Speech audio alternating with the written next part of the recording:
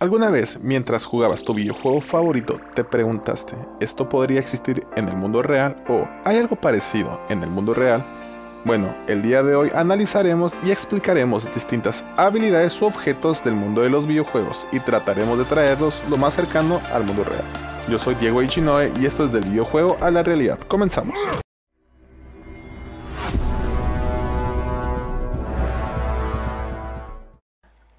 Apex Legends tiene muchas cosas para intentar traer a la realidad, pero el día de hoy solo traeremos uno que en lo particular es de mis personajes favoritos. Estoy hablando de nada más y nada menos que de Caustic y su creación el gas Nox. Este gas es capaz de disolver carne, ropa e incluso metal de cualquiera que esté dentro de su novia tóxica. Asumiendo que la información proporcionada por Tonko Cielo, escritor de Apex, podremos deducir que en la vida real es una clase de ácido sulfúrico, utilizado en la industria petroquímica por su extrema corrosividad, además de contener propiedades como el gas mostaza, que se utilizó como arma química durante la Primera Guerra Mundial. Con esta información dada anteriormente, trataremos de responder ciertas preguntas como por ejemplo, ¿por qué el gas no les afecta ni a él ni a sus compañeros durante las partidas? A diferencia de lo que pensamos, Caustic, previo a comenzar los juegos de Apex, aplica un agente que evita el daño corrosivo en sus compañeros, posiblemente alguna clase de lastimero termostable. La máscara por su parte es algo que no está ligado directamente a su gas, cosa que explicaré más adelante.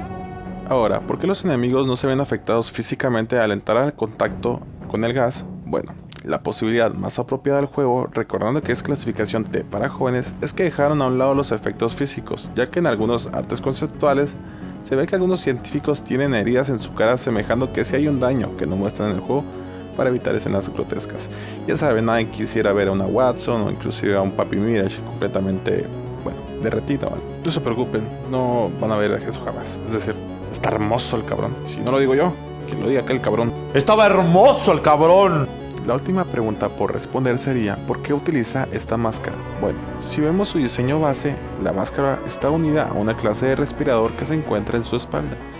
Y como podemos observar, este tose constantemente al hablar. Podemos asumir que este tiene una enfermedad en los pulmones, posiblemente causada por la experimentación al indagar acerca de su gas.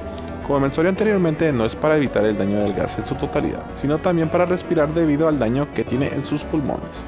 Bueno, con esto nos damos a la idea de que el gas puede ser creado en el mundo real, completamente funcional, más sin embargo sin una cura, así que no es recomendable.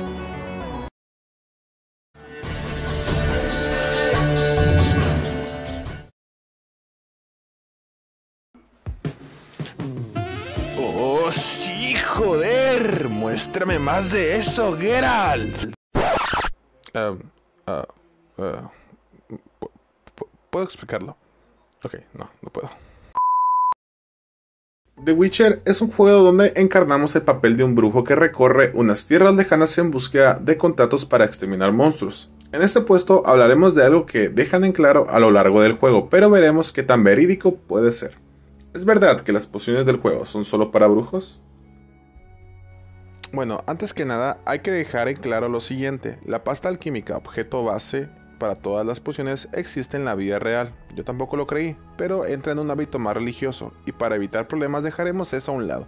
Así que una vez dicho esto, iniciamos. Para empezar, hay que dejar en claro que las pociones inician con un compuesto o ingrediente muy común en el juego, los cuales pueden ser éter, cinabrio, azogue, azufre y relis. Todas estas sustancias son distintas clases de sulfuros. Y bueno, quizás la mayoría no te suenen, pero con el azufre basta para imaginarte lo que pasa al ingerir una de estas sustancias desconocidas. Ahora imaginemos que por un segundo el ingrediente principal no te afecta. ¿Qué sucede si ingerimos estas pociones? Bueno, en ese aspecto, algunas hierbas sirven para malestares generales, infecciones y dolores, tal es el caso de la manzanilla. Aunque hay otras que siguen siendo venenosas para nosotros, por ejemplo la mandrágora, la cicuta menor o el ojo de cuervo por mencionar alguno. Si bien una poción puede crearse al pie de la letra, o la mayoría si tomamos en cuenta que por ejemplo el Nostrix no existe en el mundo real, los resultados de la ingesta causarían en el menor de los casos un dolor y quemaduras internamente dolorosos. Y si les queda la duda del por qué los brujos pueden beber distintas pociones es debido a que estos pasaban por las pruebas de las hierbas. Esta consistía en la introducción de varios mutágenos, pociones y objetos alquímicos dentro del cuerpo de la persona que iba a ser transformado en brujo no era 100% efectivo, es más, 7 de cada 10 de los niños que intentaban la prueba fallecían de momento, o al cabo de horas y semanas después de una dura agonía. Así que, en efecto, las pociones podrían hacerse en el mundo real, pero serían más venenosas que una poción en sí. El mundo del survivor horror Resident Evil es una de las sagas que marcó un antes y un después, con solo poner en mesa el mítico virus T, y aunque sea digna de analizar, esperaré hacer un video especial para ello. De momento, el día de hoy hablaremos de otro asunto del juego que son las armas bioorgánicas, o bows por sus siglas en inglés. Tal es el caso de los Hunters, Mr. X y el mítico Nemesis. En este puesto analizaremos qué tan probable es traer a una de estas bestias a la vida real. Para esto utilizaremos la terapia genética. Es una forma experimental de tratamiento que utiliza las transferencias de genes a la célula de un paciente para curar una enfermedad. La idea es modificar la información genética de la célula del paciente que es responsable de la enfermedad para que esa célula recupere su normalidad. Lo explicaré de manera que hasta incluso yo lo entiendo. Digamos que tú eres esta sensual célula roja, pero quieres ser una sexy silueta morada. En ese caso necesitas células de un padrote silueta azul para volverte morada pero para evitar el daño debemos de insertar pequeños trozos de células azules para alterar tu rojo hasta ese sensual morado que buscas. Ahora bien, imaginemos que ese rojo es una persona y el morado otra. Bueno, tú, no, sí, maybe. Así que en efecto, se puede hacer un arma bioorgánica utilizando este método. Aunque es una mala práctica mal vista por el mundo, ya que no todos soportarían las terapias. Así que, en teoría, Nemesis podría existir en el mundo real. Sí, con tentáculos, maybe niña gato, quizás. Pero no estamos hablando de eso, ¿o sí?